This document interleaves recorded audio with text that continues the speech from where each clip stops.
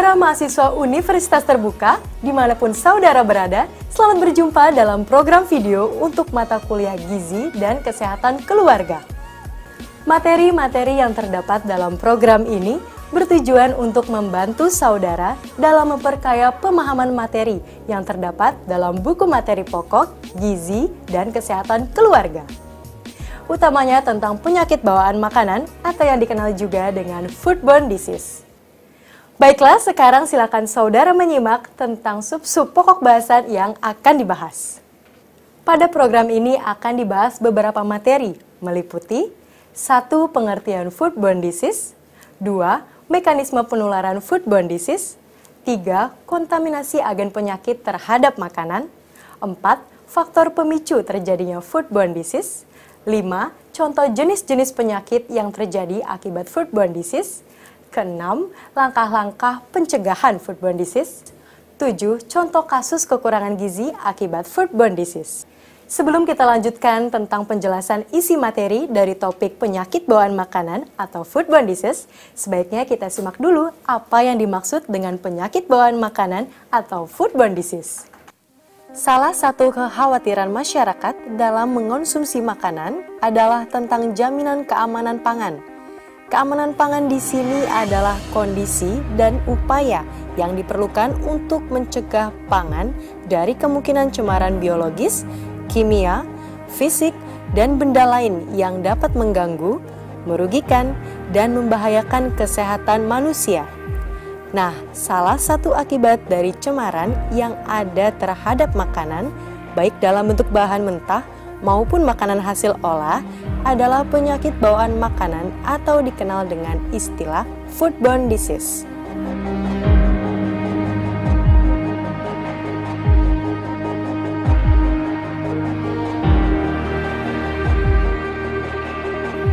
Menurut WHO tahun 2007, Foodborne disease lazim didefinisikan sebagai penyakit yang umumnya bersifat infeksi atau racun yang disebabkan oleh agen yang masuk dalam tubuh melalui makanan yang dicerna atau foodborne disease dapat didefinisikan sebagai gejala penyakit yang timbul akibat mengonsumsi makanan yang mengandung materi atau senyawa beracun atau organisme patogen.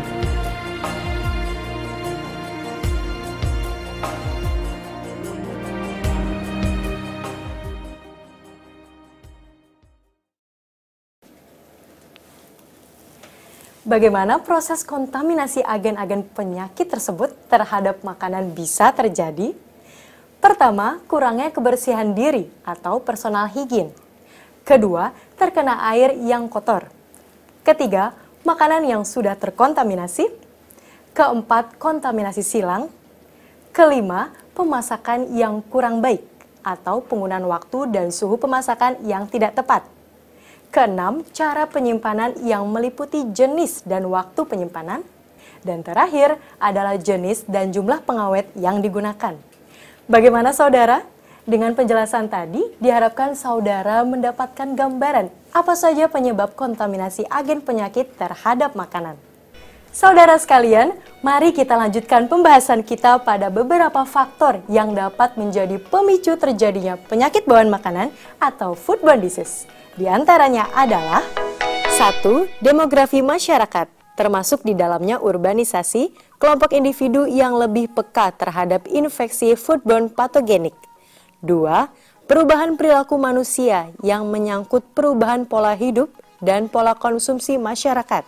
Berikutnya adalah ketiga, kemajuan sektor industri dan teknologi dengan meningkatnya industri makanan berskala besar yang terkonsentrasi pada satu tempat.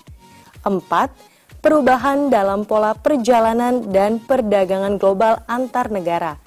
5. Peningkatan resistensi bakteri patogenik terhadap antimikroba sebagai akibat dari peningkatan pemakaian antimikroba untuk pencegahan dan pengobatan pada hewan dan manusia.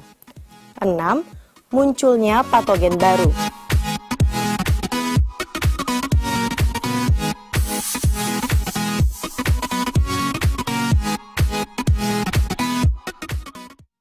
Saudara mahasiswa, setiap orang mempunyai resiko terhadap foodborne disease. infeksi yang diakibatkan foodborne disease telah menjadi masalah besar negara-negara di dunia karena sifat kejadiannya dapat bersifat sporadis dan cepat menyebar. Beragam jenis foodborne disease utama yang sering terjadi antara lain adalah Pertama, salmonellosis merupakan penyebab paling sering terjadi akibat foodborne disease di berbagai negara. Salmonellosis diakibatkan oleh bakteri Salmonella dengan gejala demam, pusing, sesak nafas, muntah, nyeri di perut, maupun diare. Salmonellosis dapat ditularkan oleh beberapa bahan pangan seperti telur, daging, susu segar, dan coklat. Salmonella juga merupakan bakteri yang terdapat pada usus unggas, reptilia, dan mamalia.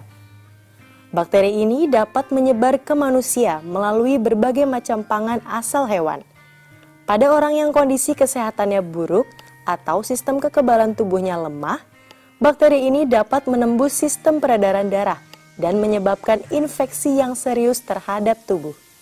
Contoh penyakit kedua adalah Campylobacteriosis yang dapat tersebar luas di berbagai negara.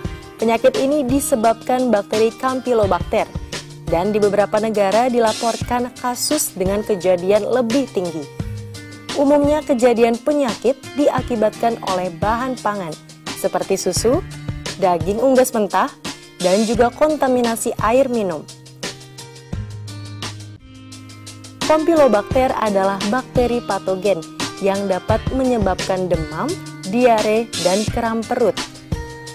Jasa trenik ini merupakan bakteri yang paling sering menyebabkan sakit diare di dunia. Bakteri ini hidup di usus ayam sehat dan pada permukaan karkas unggas. Sumber infeksi sebagian besar karena memakan daging ayam yang masih mentah atau belum matang, atau makanan lain yang telah bersentuhan dengan karkas ayam selama dalam proses pengolahan sehingga tercemar oleh bakteri ini. Ketiga, penyakit enterohemorrhagic yang dapat menyebabkan pendarahan usus diakibatkan oleh E. coli dan listeriosis. Penyakit ini termasuk dalam foodborne disease penting karena kejadian penyakitnya yang muncul akhir dekade ini.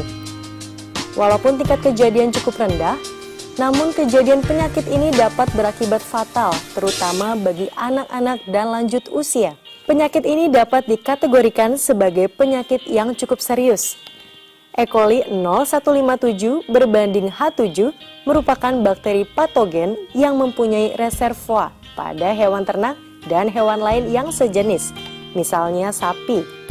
Manusia dapat terkena bakteri ini jika mengonsumsi makanan atau minuman yang telah tercemar oleh feses dari ternak ini. Penyakit ini menyebabkan diare berdarah dan kesakitan karena kram perut tanpa disertai demam. Pada 3 sampai dengan 5% dari kasus yang terjadi, Beberapa minggu setelah gejala awal tampak, terdapat komplikasi yang disebut hemolytic uremic syndrome. Komplikasi ini menyebabkan anemia, pendarahan, dan gagal ginjal. Contoh keempat adalah penyakit kolera, merupakan penyebab utama kontaminasi pangan di negara berkembang dan juga menyebabkan kehilangan yang cukup besar secara ekonomi. Penyakit ini disebabkan oleh bakteri Vibrio chloriae dan kontaminasi terjadi akibat sanitasi yang buruk. Penyakit ini ditularkan melalui kontaminasi air minum, bahan pangan seperti sayuran dan buah, dan juga termasuk produk ikan. Gejala yang muncul umumnya nyeri abdominal, muntah, diare encer yang dapat menyebabkan dehidrasi parah serta dapat menyebabkan kematian.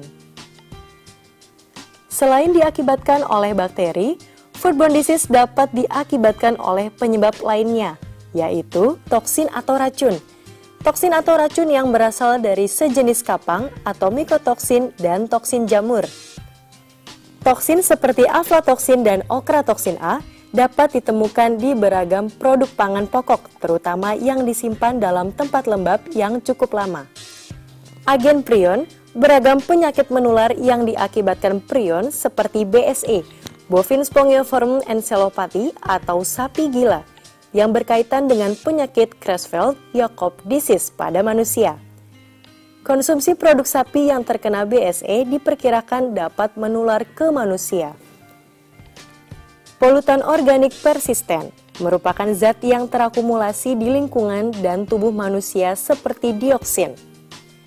Dioksin merupakan produk sampingan dari proses industri dan proses pembakaran. Selanjutnya, logam Kontaminasi logam dalam produk pangan seperti merkuri dapat menyebabkan gangguan syaraf. Paparan kadmium juga dapat menyebabkan kerusakan ginjal.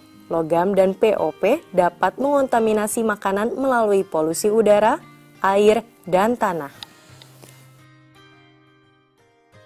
Ini. Makasih ya. Bagaimana saudara mahasiswa? penjelasan tentang contoh jenis-jenis penyakit akibat foodborne disease sudah bisa dipahami ya. Baiklah, untuk menghindari penyakit-penyakit seperti tersebut tadi, kita lanjutkan dengan penjelasan mengenai langkah-langkah pencegahan terjadinya foodborne disease.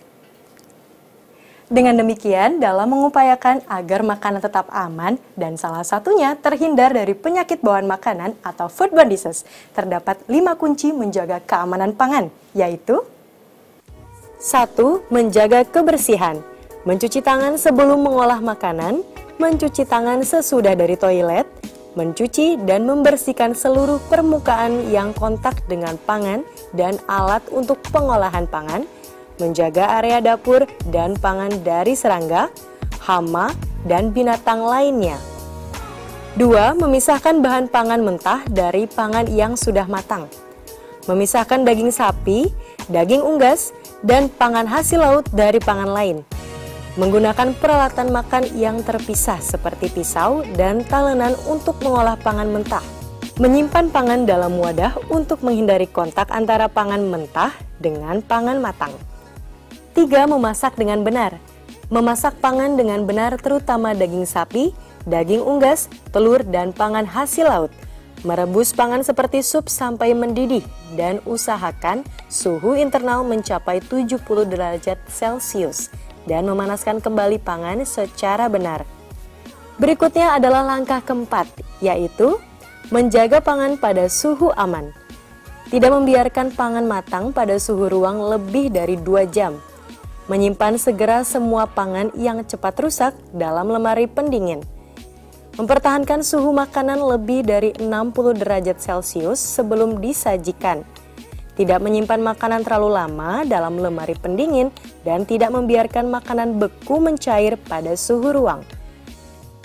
Dan langkah kelima atau yang terakhir yaitu menggunakan air dan bahan baku yang aman. Menggunakan air dari sumber yang aman, memilih pangan segar dan bermutu, memilih cara pengolahan yang menghasilkan pangan yang aman, mencuci buah-buahan atau sayuran sebelum diolah atau dimakan. Untuk produk pangan asal hewan, pastikan produk Anda asuh atau aman, sehat, utuh, dan halal. Nah, saudara mahasiswa, dari kelima langkah kunci tersebut, silakan dikembangkan lebih lanjut sesuai dengan kondisi dan situasi yang ada. Prinsipnya, segala sesuatu yang dikonsumsi oleh kita harus dalam kondisi bersih, bebas dari cemaran, baik dari biologis, fisik, maupun kimiawi.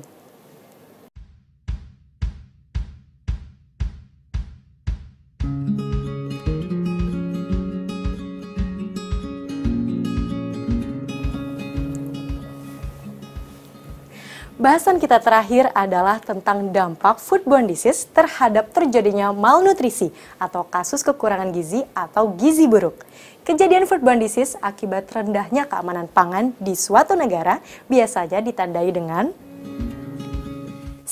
Tingginya angka kesakitan 2. Tingginya angka kematian akibat diare 3. Tingginya kejadian keracunan makanan 4. Penggunaan bahan kimia berbahaya dalam proses produksi makanan. Terdapat tiga konsekuensi yang ditimbulkan oleh foodborne disease, gizi buruk, dampak sosioekonomi di masyarakat, dan penyakit sekunder yang timbul akibat foodborne disease. Kali ini kita akan membahas salah satunya yaitu dampak foodborne disease terhadap gizi buruk. Seperti dijelaskan sebelumnya, Diare sebagai salah satu gejala utama foodborne disease dapat menyebabkan gizi buruk melalui mekanisme kehilangan cairan atau dehidrasi dan ketidakseimbangan cairan elektrolit tubuh selama diare berlangsung. Selain itu, diare juga mempengaruhi proses penyerapan zat-zat gizi atau malasorpsi yang dapat menyebabkan tubuh kekurangan zat gizi dan gangguan pertumbuhan. Efek kumulatif dari episode diare yang dialami anak terlihat jelas pada grafik, seperti contoh pada grafik. Satu atau dua kali diare memang tidak membahayakan nyawa, tetapi sakit diare yang dialami anak secara berulang-ulang dapat menghambat pertumbuhan dan bahkan perkembangan mental anak.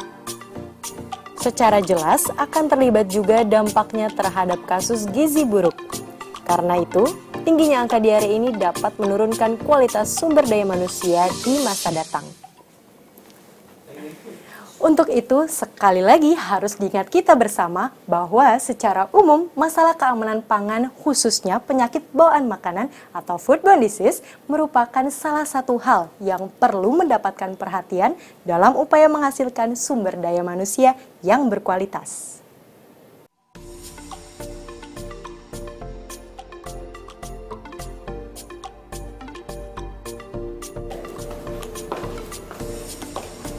Nah, saudara mahasiswa, demikianlah penjelasan tentang penyakit bawaan makanan atau foodborne disease dalam program video kali ini.